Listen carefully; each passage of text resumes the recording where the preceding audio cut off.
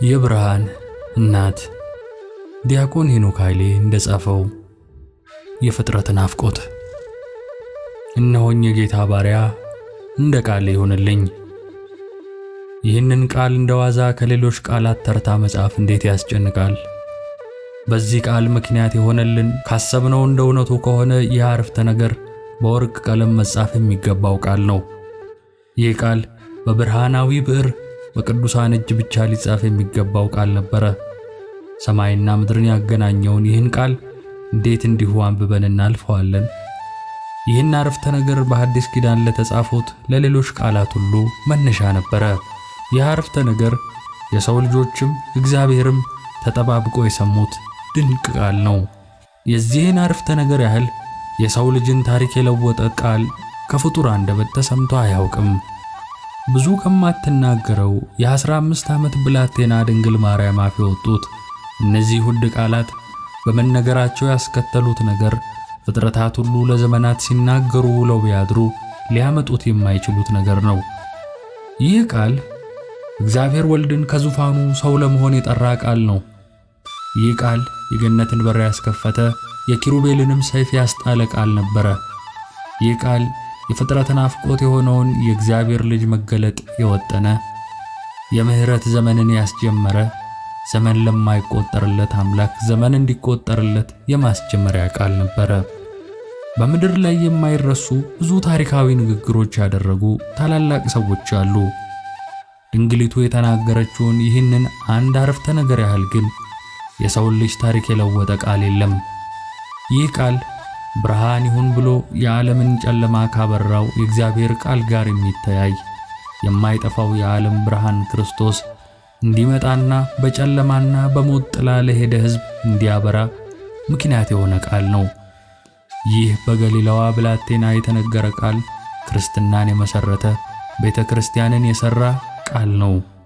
ከእግዚአብሔር ዘንድ የተላከው ቅዱስ ገብርኤል የመጣበትን ለድንግሊቱ አስረድቶ ጥያቄዋን መልሶ የተላከበትን ሥራውን ፈጽሟል። አሁን የሚጠበቀው የመጨረሻ ነገር የድንግሊቱ መልስ ነው። መልአኩ ይህንን መልስ ካልሰማ ተልእኮ አያበቃም።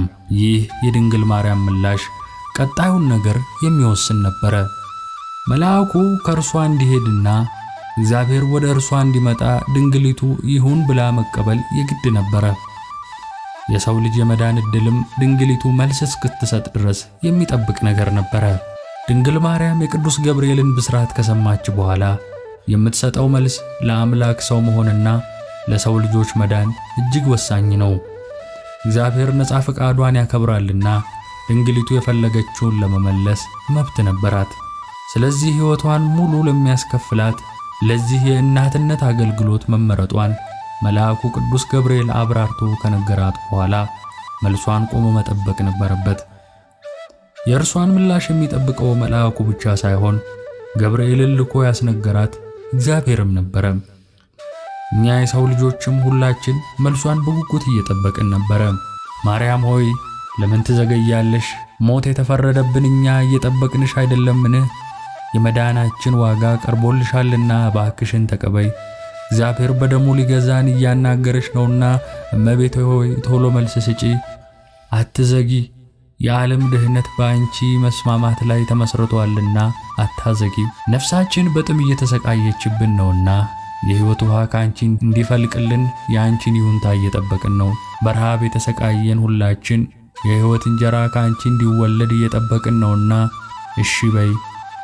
የኀጢአት ሸክማችን የከበደንን ሁሉ የሚያሳርፈው አምላክ ከአንቺ ሊወለድ እያናገረሽ ነውና እመቤታችን ሆይ እሺ በይና ከሸክማችን ገላጌን። ነፍሳት በሲኦል እስራት ሆነው ያቺን ቃል ይጠባበቃሉ። እግዚአብሔር ሊመረምረን እጆቹን ዘርግቶ ወደ አንቺ መጥቷልና ንግሥት ሆይ ተቀበዩ። ብርቱ የሚሆን ታላቅ ሥራን በአንቺ ሊሠራ መርጦሻልና ዝም አትበይ። ሊቁ ዲሜጥሮስ ዘአንጾኪያ የሁሉ እናት ሔዋን የአንተን ወደ ማርያም ማኅፀን መምጣት ትጠባበቃለች። የሰውን አካል የራስህ አድርገህ የሴትን ልጅ ነፃነት እስክታውጅ ትጠባበቃለች እንዳለው ሐዘንተኛይቱ እናትሽ ሔዋን በሲኦል ሆና እየጠበቀችሽ ነውና እባክሽን ፍጠኚ። ነቢያቱ ሁሉ የትንቢታቸውን ፍጻሜ ሊያዩ እየጠበቁሽ ነውና መልስ ለመስጠት አትቆይ። አንቺ ለሺህ ዓመታት ዝም ብለሽ ብትቆይ በእግዚአብሔር ዘንድ አንድ ቀን ነው። መዳናችንን በተስፋ ለምንጠብቅ ለኛ ግን ረዥም ነው። በሲኦል ላሉ ነፍሳት ደግሞ በሲኦል አንዲት ሰከንድ መቆየት ከምድር ላይ አንድ ዓመት ከመሰቃየት የከፋ ነውና ድንግሎ የባክሽን ፈጥነሽ መልስ ስጪ የሚያሰኝ ቅጽበት ነበረ። ድንግል ማርያም እግዚአብሔር ወደ እርሷ ያመጣው ጥያቄ ምን እንደሆነና የሚያመጣውን ድህነት በሚገባ ተረድታለችና ለቀረበላት የነፍስ አዳኝ ጥሪ ምላሽ ለመስጠት አልዘገየችም። ሙሴ እስራኤልን ከባርነት ለማዳን መመረጡ ሲነገረው እነሆ አያምኑኝም፣ እግዚአብሔር ከቶ አልተገለጠልህም ይሉኛል ብሎ ከእግዚአብሔር ለመላኩ ማሳያ ይሆን ዘንድ አስቀድሞ ምልክትን ጠይቆ ነበር። ይህች ድንግል ግን በመንፈስ ቅዱስ ጸነስኩ ብዬ ስናገር ሰዎች አያምኑኝም ብላ ምልክትን አልጠየቀችም። እንደ መስፍኑ ጌዲዮን ስለ መመረጧ ጠል በጸምር ላይ ወርዶልኝ ካላየሁ አላለችም። ካለማመን በሚመነጭ ክርክር የሰው ልጅን ድህነት ለቅጽበት አላዘገየችም። እነሆኝ የጌታ ባሪያ ብላ በትሕትና ተቀበለች እንጂ። በመጽሐፍ ቅዱስ እነሆኝ ብለው የሚናገሩት አባታቸው የጠራቸው ልጆች፣ ንጉሣቸው የጠራቸው ሎሌዎች፣ ፈጣሪያቸው የጠራቸው ነቢያት ነበሩ። ኢሳይያስ እነሆኝ እኔን ላከኝ እንዳለ እነሆኝ ማለት ለመታዘዝ ዝግጁ መሆንን የሚያሳይ ቃል ነው። ድንግሊቱ አምላክ ከእርሷ ሊወለድ እንደመረጣት ስትሰማም እነሆኝ ብላ ራሷን አቀረበች። ሰውነቷን ዙፋን አድርጎ እንዲያድርበት፣ ማኅፀኗን ከተማ አድርጎ እንዲያርፍበት፣ ሥጋዋን ምንጭ አድርጎ እንዲፈልቅበት፣ አካሏን እርሻ አድርጎ እንዲበቅልበት እነሆኝ አለች። እግዚአብሔር ራሱን ለዓለም አሳልፎ እንዲሰጥ ድንግል ማርያም አስቀድማ ራሷን ለእግዚአብሔር አሳልፋ መስጠት ነበረባት። ስለዚህ እነሆኝ ብላ ራሷን ለፈጣሪዋ አስረከበች። አንድያ ልጁን ለዓለም ይሰጥ ዘንድ የወደደ እግዚአብሔርም ለዓለም ከመሰጠቱ አስቀድሞ ለድንግሊቱ ሰጣት። አንድያ ልጁን ለዓለም ይሰጥ ዘንድ የወደደ እግዚአብሔርም ለዓለም ከመስጠቱ አስቀድሞ ለድንግሊቱ ሰጣት። የሰው ልጆች አማኑኤል እግዚአብሔር ከኛ ጋር ሆነ ብለን ደስ እንድንሰኝ አስቀድሞ እግዚአብሔር ከድንግሊቱ ጋር ሆነ። ድንግሊቱ እነሆኝ የጌታ ባሪያ ብላ ሰውነቷን አሳልፋ ለፈጣሪዋ ሰጠች። ባሪያህ አይደለሁምን? የፈጠርከው ሰውነቴ ያንተ አይደለምን? አንተ ጌታዬ ነህ፣ እኔም ባሪያህ ነኝና የወደድከውን አድርግ ስትል እነሆኝ ባሪያህ አለች። ጌታ ባሪያውን ሂድ ቢለው ይሄዳል፣ ሌላውንም ና ቢለው ይመጣል፣ ባሪያውንም ሂድ አድርግ ቢለው ያደርጋል። ድንግሊቱም ባሪያ መሆኗን አምና ያላትን ለማድረግ እነሆኝ ባሪያህ አለች። የድንግሊቱ እንደ ቃልህ ይሁንልኝ ሐሙስ ዕለት ማታ በጌቴ ሴማኔ ሲጸልይ የነበረው ጌታ አባት ሆይ ያንተ ፍቃድ ይሁን ብሎ ራሱን ከሰጠበት ቃል እኩል ለእኛ መዳን እጅግ ወሳኝ ነበረ። ምክንያቱም እግዚአብሔር የሰውን ልጅ የሚያድንበት የመዳን ቀንና የተወደደ ሰዓት በደረሰ ጊዜ ነገረ ድህነት የተፈጸመው በሁለት መልአካዊ ተልእኮዎችና በሁለት ይሁንታዎች ነበር። መልአኩ ገብርኤል ለድንግሊቱ በታየበት ዕለት ድንግሊቱ በፈራሽ ጊዜ አትፍሪ ብሎ አበረታቷታል። የተመረጠችበትን ነገር ነግሯት በመጨረሻ እንደ ቃል ይሁንልኝ ብላ ተቀበለች። ይህ ቀን የሰው ልጅ ድህነት የተጀመረበት የጌታችን ዕለተ ጽንሰቱ ነው። ነገረ ድህነት የተፈጸመው ደግሞ በምሴተ ሐሙስ በፍርሃት ሲጣጣርና አጽንቶ ሲጸልይ ለነበረው ክርስቶስ ከሰማይ መጥቶ የሚያበረታው መልአክ በታየው ጊዜ ሲሆን እርሱም አባት ሆይ የአንተ ፍቃድ ይሁን ብሎ በመቀበሉ ነው። የሚያበረታው መልአክ መጣ ማለትንም ከገብርኤል ዜና ጋር ቆጠር ነው እንዳለ ቅዱስ አባ ጊዮርጊስ ዘጋስጫ። ድንግሊቱ ወንድ ስለማላውቅ እንዴት ይሆናል ብላ የቀረበላት የእናትነት ነገር ከእርሷ በድንግልናዊ ሕይወት የመኖር ፍቃድ ጋር የሚሄድ ይሆንን በሚል እንደተጨነቀች ልጇም አባት ሆይ ብትወድስ ይህች ጽዋ ከኔ ትለፍ ብሎ ነበር። በመጨረሻ ግን እርሷም እንደ ቃል ይሁንልኝ ብላ ጽንሰቱን ስታውጅ ልጇ ደግሞ የአንተ ፈቃድ ይሁን ብሎ ስቅለቱን አውጆ የሰው ልጅ ድህነት ተከናወነ። እናትና ልጅ የተናገሩት አንድ አይነት ቃል ይሁንልኝ የሚለው ብቻ አልነበረም። ድንግል ማርያም እነሆኝ ብላ የተናገረችውን ራሷን ለፈጣሪዋ አሳልፋ የሰጠችበትን የትህትና ቃልም ልጇ በመስቀል ላይ እነኋት ብሎ እርሷን ወክሎ ደግሞታል። እርሷ ለእርሱ ማደሪያውና እናቱ ለመሆን ራሷን ሰጠች። እሱም ከእርሷ ተወልዶ የማዳን ሥራውን በመስቀል ላይ ፈጸመ። እነሆኝ ብላ ራሷን ለእርሱ የሰጠችውን ድንግል ግን እንዲሁ ትቷት አልሄደም። እነኋት እናትህ ብሎ ነፍሱን ከመስጠቱ በፊት ለሁላችን እናቱን ሰጠን። ጌታ ነፍሱን ስለ እኔ አሳልፎ ሰጠ ብሎ ፍቅሩን የሚያደንቅ ሰው ሁሉ እዚያ ቦታ ላይ ያለውን ከነፍሱ በፊት እናቱን የመስጠቱን እውነታ መዘንጋት የለበትም። እንደ ቃል ይሁንልኝ የሚለው ቃል የሰው ልጅ ለአምላኩ ከተናገራቸው አሜንታዎች ወደር የሌለው ነው። አሜን ማለት ይሁንልኝ፣ ይደረግልኝ ማለት ነው። ለእግዚአብሔር በእኛ የሚነገረው አሜን በእርሱ ደግሞ ነው። አሜን ማለት እግዚአብሔር እንዲሁ ያድርግ ማለት ነው። ከአሜን ይቀራል እንዲሉ ድንግል ማርያም ቢቀር ብዙ የሚያስቀር አሜን ከአንደበቷ ተጠብቆ ነበር። እርሷም አሜን ብላ ተቀብላ ለዘመናት የምናዜመውን አሜን ወአሜን ለይኩን ለይኩን አሜን አሜን ይሁን ይሁን የሚል የክርስቲያኖች ቅዳሴ አስጀመረች። ድንግል ማርያም እነሆኝ የጌታ ባሪያ እንደ ቃል ይሁንልኝ የሚለውን ቃል ተናግራ ስትፈጽም ከሦስቱ አካል አንዱ ወልድ ከሰማያት ወረደ። በብሩህ ደመና ተጭኖ መጥቶም በማኅፀኗ አደረ። ሰለስቱ ምዕት እንዳሉት ከመንፈስ ቅዱስ የተነሳ ከእመቤታችን የተነሳ ሰው ሆነ። መንፈስ ቅዱስ ከማዋሃዱ እመቤታችን ይሁንልኝ ከማለቷ የተነሳ ሰው ሆነ። ድንግሊቱ የተናገረችውን ቃል ተከትሎ የሆነው ነገር ከዛም በፊት ከዛም በኋላ ማንኛውም ፍጡር በአንደበቱ ተናግሮ ከተፈጸመው ነገር ሁሉ እጅግ የከበረ ነው። ኤልያስ በጻድቅ ሰው ጸሎቱ ሰማይን ለጉሞ ዝናብ እንዳይዘንብ እንዲዘንብም አደረገ። ኢያሱ በገባዖን ላይ ፀሐይ ትቁም፣ በኤሎን ሸለቆም ጨረቃ ብሎ ተናግሮ ፀሐይን አቆመ። ሐዋርያት ተነሳና ተመላለስ ብለው ሽባውን አስነሱ። ጣቢታ ሆይ ተነሽ ብለው ሬሳ ቀሰቀሱ። ድንግል ማርያም ግን እግዚአብሔርን ከዙፋኑ ድረስ በቃሏ የጠራችው ይሁንልኝ ብላ እንደ ኤልያስ ዝናብ ከመለጎም ከማዝነብ አልፋ ንጹሑን ዝናብ በእርሷ እንዲያድር አደረገችው። ይሁንልኝ ብላ እንደ ኢያሱ ፀሐይን ከማቆም በላይ የፀሐዮች ፀሐይ በሆዷ ውስጥ እንዲያበራ በቃሏ ጠራችው። ሐዋርያት በስሙ ሽባ የፈወሱበትን ሞት ያስነሱበትን ጌታ ይሁንልኝ ብላ የጸነሰች ድንግል የቃሏ ኃይል እንደምን ያለ ነው! በአንድ አረፍተ ነገር የሰው ልጅን ዳግም ተፈጥሮ ከፈጣሪዋ ጋር ተስማምታ ያስጀመረች፣ የሰማይን መንገድ መርቃ የከፈተች፣ የምሕረት ዓመትን መጀመር በቃሏ ያወጀች ይህች ድንግል የቃሏ ኃይል እንዴት ያለ ነው! እመቤቴ ሆይ የአንቺን ይሁንልኝ የሚል ቃል ተከትሎ እግዚአብሔር ሰው ሆነ። ሰው ሆኜ ተፈጥሬ ሰው መሆን ያቃተኝን እኔንስ ሰው የምታደርጊኝ መቼ ይሆን? አምላክ ሰው እንዲሆን ይሁን ያልሽዋ ሆይ ስለ እኔ ሰው መሆን ይሁን የምትይው መቼ ይሆን?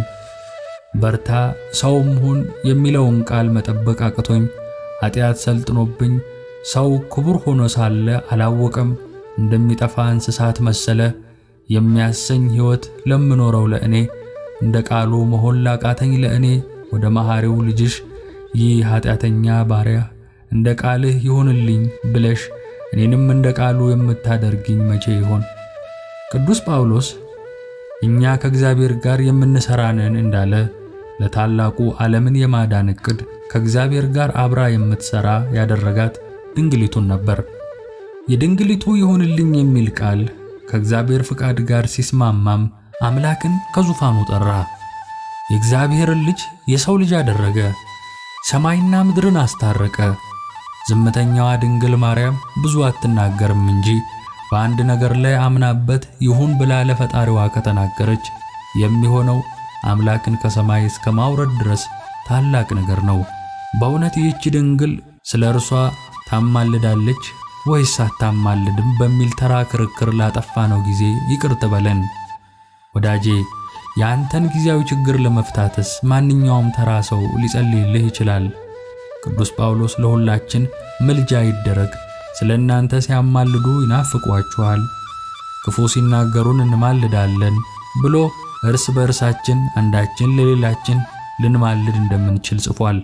አንደኛ ቆሮንቶስ ምዕራፍ 4 ቁጥር 12። መቼም አብዛኛው ጥያቄያችን ከሥጋ አያልፍምና ደህና ገንዘብና ሥልጣን ያለውም ሰው የአንተን ችግር ለመፍታት አያንስም። ይሁንልኝ የሚል የእምነት ቃሏን ተናግራ ሰማይና ምድርን በማኅፀኗ ያስታረቀች የእግዚአብሔር ውድ ፍጥረት ድንግል ማርያም አንተን አማልዶ ማስታረቅ ትልቅ ነገር የሚሆንባት ይመስልሃል? እውነት ለመናገር ለእኛ ተራ ጉዳይ አታማልድም ብሎ መወዛገብ ቀርቶ ታማልዳለች ብሎ መናገርም ከክብሯ ጋር የማይመጥን ተራ መልስ ነው።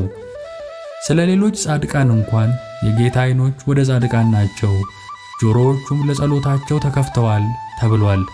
ድንግል ማርያም ግን እናት ለልጇ እንደምታወራ የሰማይና ምድርን ፈጣሪ በእቅፏ ይዛ በጆሮዎቹ የእናትን የፍቅር ቃል ያፈሰሰች ናትና ከየትኛውም ሰው ድምፅ በላይ የእርሷ ቃል ለፈጣሪ ጆሮ ጣዕም ያለው ነው። እንደ ቃል ይሁንልኝ ያለችው ቃል ድንግል ማርያምን የአምላክ እናት ያደረገ አምላክንም ሰው ያደረገ ቃል ሆነ። መልአኩን እንደ ቃል ይሁንልኝ ያለችው ያን ጊዜ ቃል ከእርሷ ሥጋን ተዋሃደ። አይታ እንዳትደነግጥ ተመልክታም እንዳትፈራ ሰው በሆነ ጊዜ ከእርሱ ጋር አራቱን እንስሳት አላመጣም። በሰማይ ሥርዓት የተጠበቁ ሰማያውያኑን በዚያ ተወ። ድንግሊቱ ይሁንልኝ ስትል በመንፈስ ቅዱስ ጣት እግዚአብሔር ወልድ በሥጋ በማኅፀኗ ተቀረጸ።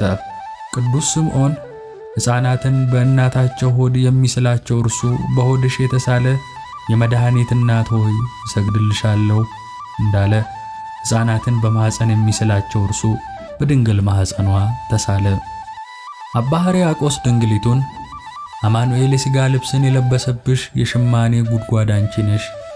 በሸማኔ ጉድጓድ ሰሪውም ሥራውም እንደሚገኝ ለራሱ የሥጋ ልብስን ያዘጋጀው እግዚአብሔር በማኅፀኗ ያደረባት እርሷ ነበረች።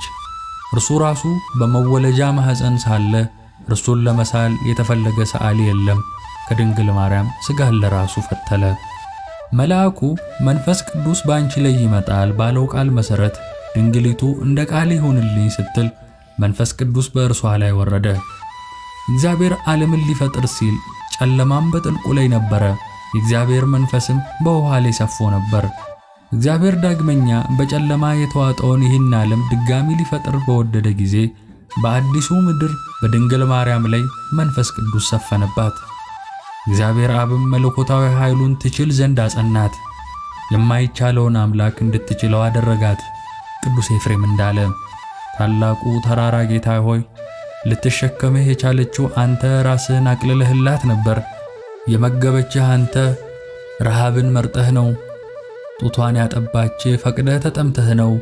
የእሳት ፍህም ሆነ ሳለ የዳሰሰችህ እቅፏን እንዳይጎዳ ጠብቀህላት ነው። በቅዳሴያችን ላይ ይወርድ መንፈስ ቅዱስ በላዕለ ህብስቱ ወወይኑ ሶበ ይብል ካህን ጸጋ መንፈስ ቅዱስ ፈኑ እንደሚል ህብስቱና ወይኑ ላይ መንፈስ ቅዱስ ወርዶ የአምላክ ሥጋና ደም ወደ መሆን በቅጽበት እንደሚለወጠው በዚች ሕያዊት መቅደስ ድንግል ማርያም ላይም መንፈስ ቅዱስ ወርዶ በማኅፀኗ ይህ የሕይወት እንጀራ ክርስቶስ መለኮት በተዋህደው በሥጋና በደም እንዲጸነስ አደረገ።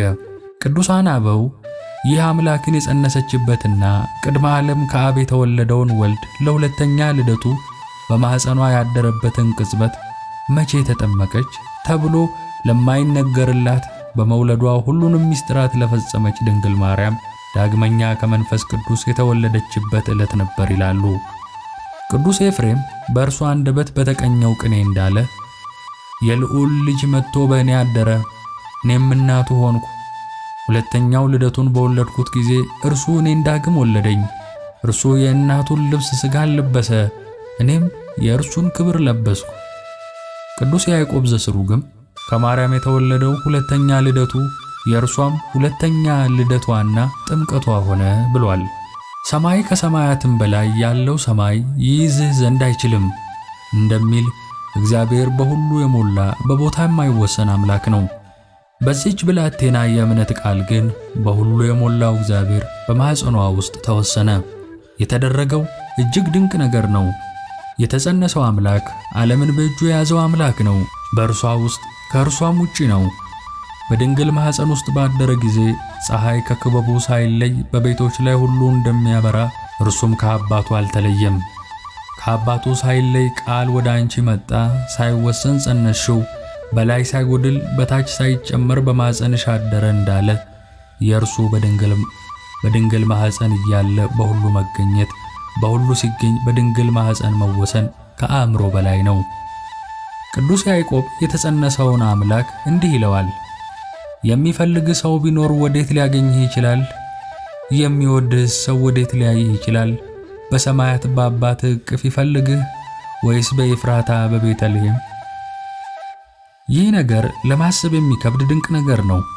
አባ ሕርያቆስ እንዲህ ሲል በመደነቅ ማዕበል ውስጥ ይንገላታል። ከገረድነት ጋር እናትነት እንደምን ያለ ነው!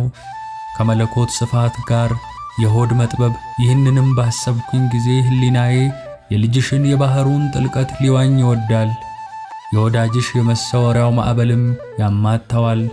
ዳግመኛ ባሰብኩ ጊዜ ሕሊናዬ ተሰውሮ ወደ ላይ ወጥቶ የሕያው መሰወሪያ የሆነውን ሊገልጥ ይወዳል። ከነደ እሳትነቱ የተነሳ ይፈራል። ከአየራት ከአርቧቸው ርቦ አይደርስም።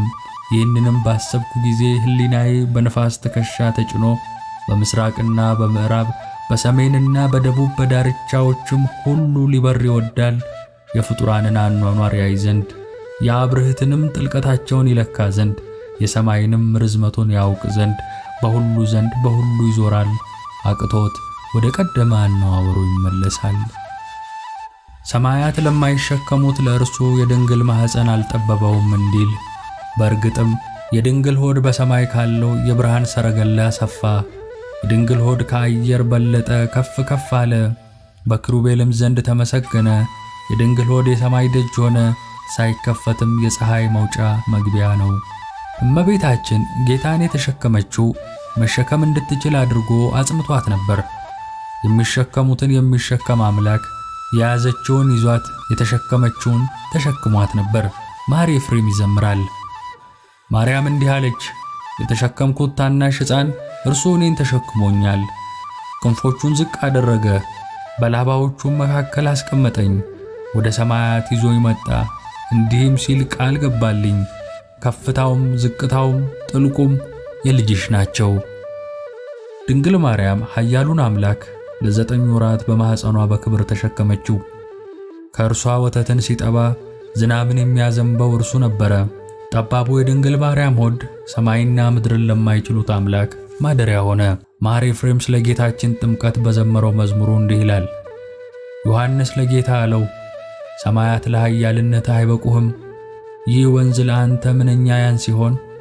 ጌታ እንዲህ አለው፣ ማኅፀን ከዮርዳኖስ ወንዝ ይልቅ ያነሰ ነው። በዚያ ላድርና ልወድ ፈቅጃለሁ። አሁንም በዮርዳኖስ ልጠመቅ ፈቀድሁ። በዚች ድንግል ማኅፀን አምላክ የማደሩ ሌላው ድንቅ ነገር እርሱ በሰውነቷ ባደረ ጊዜ በመለኮቱ እሳትነት ሥጋዋ አለመቃጠሉ ነው። ቅዱስ ጳውሎስ አምላካችን በእውነት የሚያጠፋ እሳት ነውና እንዳለ በድንግሊቱ ያደረው መጠን የሌለው የመለኮት እሳት ነበረ። እርሱ በሲና ተራራ በወረደ ጊዜ እግዚአብሔርም በእሳት ስለወረደበት የሲና ተራራ ሁሉ ይጤስ ነበር። ከእርሱም እንደ እቶን ጢስ ያለ ጢስ ይወጣ ነበር፣ ተራራውም ሁሉ እጅግ ይናወጥ ነበር ይላል። ወደዚች ድንግል በሲና ተራራ ከሆነው በሚበልጥ ከመለኮቱ ሙላት ተገልጦ የመጣው ይህ አምላካዊ እሳት ነው። እሳት ስንል በምድር እንደምንለኩሰውና እንደምናጠፋው አይነት እሳት አይደለም። እርሱ ግን ምድራዊ እሳት ልንለውስ አይገባም። ለእሳትስ መጠን አለው፣ ልክም አለው። ለመለኮት ግን ይህን ያህላል፣ ይህን ይመስላል ሊሉት አይገባም። ይህች ድንግል ማርያም እሳትን በእጆቿ ታቀፈች፣ በክንዷ ያዘች፣ ጡቶቿንም ለእሳት አጠባች። ላም እሳት ወለደች፣ እንዳትልሰው ፈጃት፣ እንዳትተወው ልጅ ሆነባት የሚባል ብሂል አለ። ይህች አዲሲቱ እምቦሳ ድንግል ማርያም የገጠማት ይህ ነበር። መጠን የሌለውን እሳት ወለደች፣ እርሷን ግን አልፈጃትም። አቀፈችው፣ አልተወችውም። የመለኮቱ እሳትነትም የምትናገረውን የሐዲስ ኪዳን ቁጥቋጦ አላቃጠላትም። ስለዚህ እንደ ሙሴ ጫማችንን አውልቀን በአክብሮት በፊቷ ቆመን ከፈጣሪ ጋር እንነጋገርባታለን። ያዕቆብ ዘስሩግ እንዲህ ሲል ይዘምራል። በተባረከው ማኅፀንሽ ውስጥ የእሳት ነበልባል አደረ። ሱራፌል ይህን ነበልባል ቢያዩት ይንቀጠቀጣሉ። ዓለማትን ያበጃጀው ሕያው እሳት በአንቺ ውስጥ ተዳፈነ። ይህ እሳት የጣዖት አምልኮን የሚያጠፋ ዘጠኝ ወር የተከደነ እሳት ነው። በምድር ሁሉ የበቀሉትን እሾሆች ሊያጠፋ የሚቻለው እሳት በማኅፀንሽ ውስጥ ሞላ። የቅዱስ ዮሐንስ አፈወርቅ የቆብ አባት ቅዱስ ዲሜጥሮስም እንዲህ ይላታል። ሰማይ ታላቅ ነው ቢሉ ከአንቺ ጋር አይስተካከልም። ሰማይና ምድርን የሞላው በማኅፀንሽ ሞልቷልና። ሰዎች ከአንቺ ይልቅ ምድርን ታላቅ ናት ቢሉኝ ምድርማ የእግሩ መረገጫ ብቻ ናት እላቸዋለሁ። የኖ መርከብ ነሽ ይሉሻል። የኖ መርከብ ግን ያዳነችው ኖኅንና ቤተሰቦቹን ነው። በአንቺ ግን ዓለም ዳነ። ታቦት ነሽ ይሉሻል። ታቦቱ የያዘው በእግዚአብሔር ጣቶች የተጻፉት ሁለት ጽላትን ነበር። አንቺ ግን የዓለማትን ጌታ በኃይሉ ቃል ጸነስሽው። እሳተ መለኮትን ተሸክመሽ ሳለሽ ያልተቃጠልሽው እመቤታችን ሆይ እኛ እንዳንቺ አምላካዊውን እሳት ለመሸከምና ሳይቃጠሉ ለመቆየት የምንለምንበት ሕይወት የለንም። ሆኖም እኛ አንቺ ነክቶሽ በማያውቅ በሌላ እሳት እየነደድን እየተቃጠልን ነውና እንድታጠፊልንና እንድታስችይን እንማጸንሻለን። እኛን ያቃጠለን እሳት በጉያው እሳትን የሚታቀፍ ልብሶቹስ የማይቃጠሉ ማን ነው? በፍም ላይ የሚሄድ እግሮቹስ የማይቃጠሉ ማን ነው? መጽሐፈ ምሳሌ ምዕራፍ 6 ቁጥር 27 ተብሎ የተነገረለት የኃጢአት ፍትወት እሳት ነው። እኛን ያቃጠለን እሳት እነሆ ትንሽ እሳት እንዴት ያለ ትልቅ ጫካ ያቃጥላል። አንደበትም እሳት ነው። አንደበት በብልቶቻችን መካከል አመፀኛ ዓለም ሆኗል። ሥጋን ሁሉ ያሳድፋልና የፍጥረትንም ሩጫ ያቃጥላል፣ በገሃነምም ያቃጥላል ተብሎ የተነገረለት የምላሳችንን እሳት ነው። እንዳንቺ የመለኮትን እሳት መሸከም ባይቻለንም እንዳንቺ የሚያድነንን እሳት ታቅፎ አለመቃጠል ባይሆንልንም ድንግል ሆይ የፍቶታችንን እሳት መሸከመን አስችይን። የምላሳችንን እሳት መቆጣጠር አስተምሪን። ከአባ ጊዮርጊስ ጋር እንዲህ ስንል እንማጸንሻለን። እሳትን በሥጋ የወሰንሽ ድንግል ሆይ እኔን ኃጢአተኛውን አማልጂኝ። ሥጋንም እንደ ሰም የሚያቀልጠው ከሥጋዊ ፈቃድ እሳትነት አድኝኝ። ድንግል ማርያም ይሁንልኝ ብላ ቃሉን እንደተቀበለች ሊቀ መላእክት ቅዱስ ገብርኤል ከእርሷ ሄደ። ከመታየት ወደ አለመታየት ተሰወረ። የቅዱስ ገብርኤል የአዲስ ኪዳን ተልእኮ ግን ድንግሊቱን በማብሰር ብቻ አላበቃም። ዮሴፍን በማረጋጋት ለእረኞቹ ልደቱን በማብሰር የቀጠለ ሆነ። በዕለተ ዓርብ ክርስቶስ ሲሰቀል ቅዱስ ያሬድ ገብርኤል ተገረመ እንዲል በአምላኩ ሰው መሆን የተደሰተውን ያህል ያዘነውና በቤተ ክርስቲያን ትውፊት እንደሚናገረው ሰይፉን ጥሎ ድንግል ማርያም ከደናግለ እስራኤል ተካፍላ በፈተለችው ሐር የተሰራው የቤተ መቅደስ መጋረጃ ለመቀደዱ ምክንያት ሆኗል። በጌታው መሰቀል ያዘነው ንስረ አርያም ቅዱስ ገብርኤል ጌታው በተነሳበት ዕለትም ከቅዱስ ሚካኤል ጋር የትንሣኤውን ዜና ለቅዱሳት አንስት ካወጁት ሁለት መላእክት አንዱ ነበረ። ጌታችን በአርባኛው ቀን ወደ ሰማያት ሊያርግ ሲልም መኳንንት ደጆቻችሁን ክፈቱ፣ የክብር ንጉሥ ይግባ ብሎ ለመላእክቱ ያበሰረውና የጌታ በዓለ ዕርገቱን አንጋጠው በሚያዩት በሐዋርያት ሐዘን የታጀበ ብቻ ሳይሆን በመላእክት ዝማሬ እንዲታጀብ አምላክ በእልልታ እግዚአብሔር በመለከት ድምፅ አረገ እንዲል የመላእክቱን ደስታ ያወጀው ይኸው መልአክ ነበረ። ቅዱስ ያሬድ እንዲህ በውብ ዜማ ይገልጸዋል። ሊቀ መላእክት ከሰማይ እንዲህ ሲል ጮኸ፣ የአምላክ ልጅ የማርያምን ሥጋ ለብሶ መጣ፣ ውጡና ተቀበሉ